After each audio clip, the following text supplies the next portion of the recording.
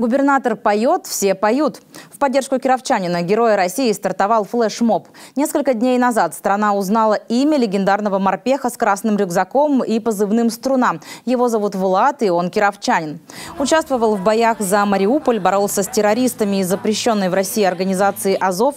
Певица Юта написала про него песню, а на днях ее исполнили кировчане из Ассоциации молодых педагогов области и Института развития образования.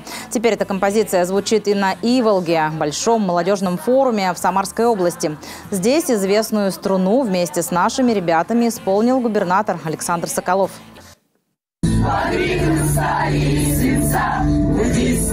победе!